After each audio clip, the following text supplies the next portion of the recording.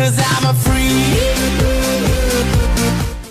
ver, Gustavito, buen día. Buen día, compañeros. Nuevamente yo estoy acá en Yo me llamo la academia. Están los chicos, Ana Gabriel, está Alicia, amigas ellas, amigas y rivales. Amigas nomás y rivales sacamos ya esa. Marco Antonio Solís, bueno, este es tu mes, tu momento, tu año. Ahora es el momento de hacer aguinaldo. Bueno, buen día para toda la gente del resumen. Bueno, eh, ya empecé realmente a laburar y hace dos meses que yo empecé ya a cantar Navidad sin ti, realmente. Ah, no, me- La aceptación de la gente. Pero el ahora que estás en televisión, en pantalla. Bueno, realmente cada vez que interpreto esa canción tengo un nudito acá en la garganta, pero eh, la reacción de la gente es estupenda. Te pide bien la gente, Marco. Demasiado ya. Desde no- abril, te juro que desde abril ya estoy cantando Navidad. Puedes sin ti. cantar la parte de se llega nada. Llega Navidad y yo sin ti en esta soledad. Acá de niña está llorando. Recuerdo el día que te perdí. Marco Ese me Antonio, ¿Eh? ¿qué, me gusta. qué opinás de los dobles tuyos que están surgiendo en todos lados, incluyendo el que acabamos de mostrar que Malala dijo que hasta sonaba mejor que vos? Con una Sí, versión sí, diferente, Marco Antonio. Realmente un timbre vocal impresionante, muy parecido a, ¿Verdad que sí? sí, a la voz de Marco Antonio. Viste que Marco Antonio medio que canta así con su nariz. Llega nada. Llega Navidad. Ese, ¿viste? yo- Eh, ah, ese tenés que hacer, Marco. ¿Viste, viste lo que yo te estoy Igualito. descubriendo? Pero sabes que ¿Ves? los profesores no me permiten Pero hacer la eso. Yo- Marco Antonio, que- Marco. Antonio, una consulta. ¿Te animarías a una competencia aquí en el resumen, un mano a mano con este Marco Antonio eh, infeliz? Sí, claro que sí. Si la producción me permite, con mucho gusto. Claro que te va a permitir porque yo le voy a pedir. hacer. Con la versión original y la versión. eh, La bueno, versión parodia. La parodia. Exactamente. Y Marco Antonio decías, la- los profes de la academia no te permiten cantar nasalmente, ¿por qué? Porque vas a lastimar tus cuerdas vocales. Eh, bueno, eh, eh, realmente va, va por ahí más o menos el tema, porque hay que cantar con, con el diafragma, ¿verdad? Como dicen los profes, no lastimar la garganta ni tampoco usar mucho la nariz. Pero Solís tiene mucha característica, ¿verdad? Canta por partes nasalmente, por parte lo hace con la garganta y por eso es que tiene una característica muy particular. Es muy difícil imitar la voz de, de Solís. Bueno, y hablando de imitaciones, Gustavo, también del otro lado le tenemos a dos grandes imitadoras. Yo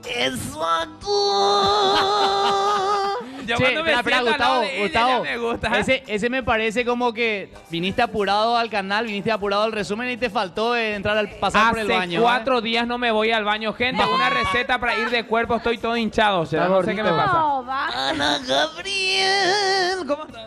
Todo bien, y vos? Bueno, hoy Alicia y Selena, en este caso, perdón. No, perdón, Ana Gabriel, Alicia, Ana Gabriel, Ana Gabriel. amigas inseparables. ¿Cómo Se, es ese nota ahí la química, el amor. Amigas, no sé qué. Qué Amigas, bola, amiguísimas. Qué bola que esto. Bien, se arreglaron, se arreglaron, está bien. Siempre fuimos así, buena onda. Eh, acá como siempre en la academia, así. Y bueno, eh, ¿Sabes qué es lo que no Ana le gusta a Gabriel. Denise? ¿Sabes qué es lo que no le gusta a Denise? Eh, Ana Gabriel, ese tú. Que Ana, a vos sabés que Ana sabe cantar, Perdona. sabe, ah, sa- sabe actuar en piso de Ana Gabriel, pero te juro que no sabes actuar de buena amiga. En serio te digo. Lala insiste, ¿eh? No con que te supuestamente sale no. esa tu carita, mamita, no te sale. Malala, Malala no te bueno, cree, Ana está Gabriel. bien, está bien. Eh, cada uno tiene su manera de pensar. Yo estoy tranquilo. Es Bueno. mi forma de pensar, mi forma de... Son mis gestos naturales nomás. Forma de ser. No, Ana. Gestos vos naturales cuando que salen- yo me Órale, llamo. Yo me llamo. Cuando vos empezaste, vos eras otra persona. Otra. Tenías esa cara súper divertida. Venías acá súper divertida. Saludabas de otra manera. Pero hoy, a partir de ese momento que volvió Alicia, vos cambiaste.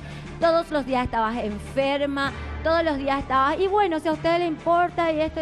Como que no te importaba más nada. Incluso antes me contaron que cuando todos los chicos fueron a pasar un día a un lugar de- donde hay piletas, un día de campo, Ella ella, no estaba así, iba. no me quiero bañar, Sí. no quiero ir, quiero quedarme O nomás sea, en la. Hace calor, hace frío, hace como que te chuparon la energía. ¿Qué, qué, qué te pasa? Que así, no sé, hacerte un baño, así un sacameo, Ana Gabriel. Ya hice ya mi sacameo y te cuento que estoy a full ahora, al 100%. ya. Ah, Nosotros bueno. sacamos Bueno, pero- también acá. Si querés venir acá y Yo- ponerte en el medio, nosotros sacamos también. Sacamos. Yo me imagino, yo me imagino, Ana Gabriel, que bueno, una competencia eh, de temporada bastante extendida te va consumiendo, ¿no? Te va consumiendo y con el tiempo vos te vas desgastando y obviamente ahí sale la realidad de uno. Ahí es cuando surgen con algunos pequeños roces la realidad de una persona. No, yo calculo que es más, bueno, lo que a mí me había pasado nada más el- el trabajo, porque yo también trabajo de noche como, como músico y tratar de cumplir todo en todos lados. Capaz me habrá subido un poco la energía, pero ahora ya no me dejo más, ya estoy tratando de poner al 100% de mí como siempre y, y, bueno, seguir en la competencia que es lo que más quiero llegar hasta, hasta la final. Y Claro, ojalá, al que la gente, ojalá que la gente ya no tenga más ese concepto, voy a tratar de, de mi parte al menos, tratar de hacer un sacameo, como dicen ustedes, para, para volver a transmitir esa alegría que yo solía, tra- solía Bueno, transmitir. La que me gustaría saber cómo hizo el sacameo y de qué manera eh, justamente se sacó todo eso de encima para hoy estar pacíficamente a tu lado es Alicia Villarreal. Alicia, Eshu, Eshu, Eshu Goabe. Hola, ¿qué tal? Muy buenos días. ¿Cómo están? Muy bien, Alicia, ¿y vos? Bien, también. Alicia, esa sonrisa se te ve resplandeciente. eh, ya estás más en armonía con tus compañeros dentro de la casa, de la academia. Y algo así, en realidad yo, yo con esa armonía lo entré.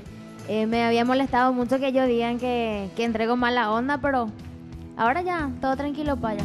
Mm. La última vez que te vimos aquí estuviste a punto del quiebre, eh, con lágrimas en los ojos, con Sí. los ojos rojos y realmente estabas como contenida de mucha rabia, ¿es así? Y sí, contenida porque me prohíben llorar y todo también. A la Ah. ¿Quién te prohíbe llorar? Llorar hace Por ahí bien. nomás, bueno. Pero o sea, quiere decir bien. que estás actuando nomás ahora, te estás aguantando y estás diciendo, bueno, de ahora en más voy a sonreírle a todos hipócritamente. No, tampoco la pava, no, tranquilo, pa, como siempre. Eh, siempre hay esa buena onda. Desde el principio estuvimos como hermanas con, con Ana, ¿verdad? Y hablamos muy bien de que no queríamos, no queríamos romper eso, ¿verdad? Era muy incómodo de estar así, no hablar. No sé, no sé, pero tu cara es... broma- Alicia, la es cierto que- hacíamos y eso extrañamos y bueno, pues ahora volvemos a hincharnos. Pregunto, ¿es cierto que ahora el problema es con alguien que ya no está dentro del programa, que es Daddy Yankee, quien, eh, según me, me enteré, empezó a enviar mensajes bastante molestos eh, porque lo habías mencionado al aire aquí en el resumen? ¿Es cierto eso? No sé si está molesto o no, pero yo ya no escribo con él. ¿Por qué?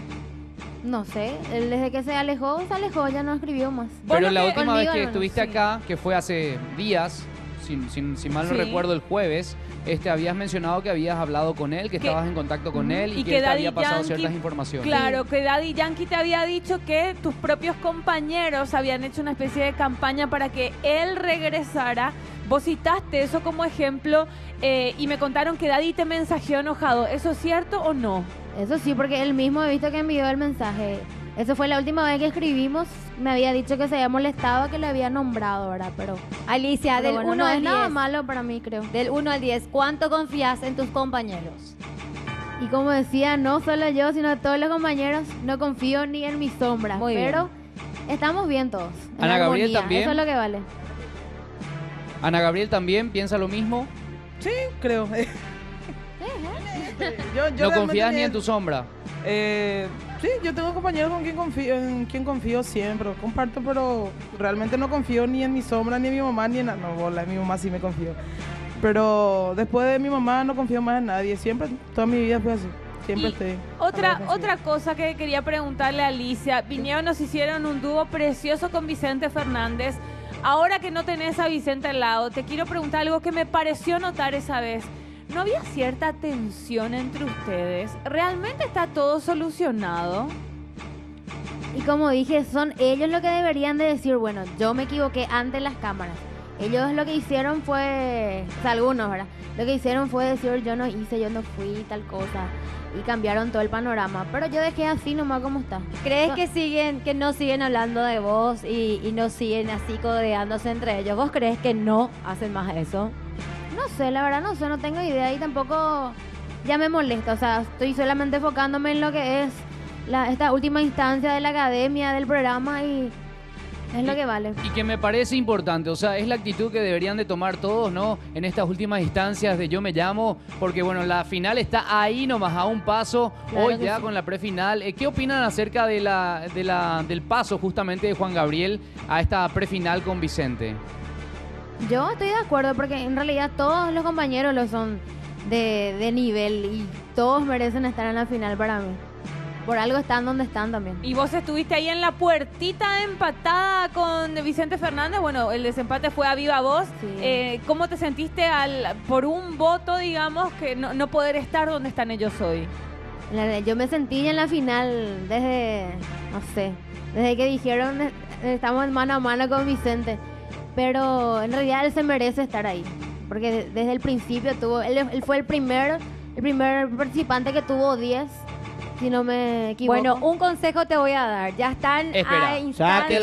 Atención. Saque, escuchá que están a nadie. instancias de la, de la final. Nadie es tu amigo, nadie es amigo de nadie, porque una vez que vos te vas a la final o a la semifinal, todos te van a odiar, todos van a hablar mal de vos.